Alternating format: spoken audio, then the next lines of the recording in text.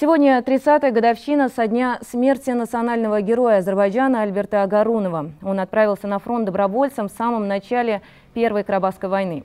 В ходе военных действий в направлении Ханкинди до Шалты Джамили им было уничтожено огромное количество живой силы и бронетехники противника. 8 мая 1992 года Агарунов вступил в свой последний бой на окраине Шуши – Меняя позицию, Агаронов заметил перед танком тела погибших в бою однополчан, выбрался из боевой машины, чтобы перенести их в сторону. В этот момент и сражен пулей снайпера.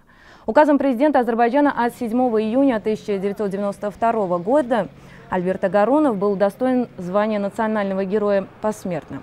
Сегодня в Баку возвышается памятник герою именем легендарного танкиста. Названа одна из улиц столицы, а также школа и улица в родном селе Амирджан.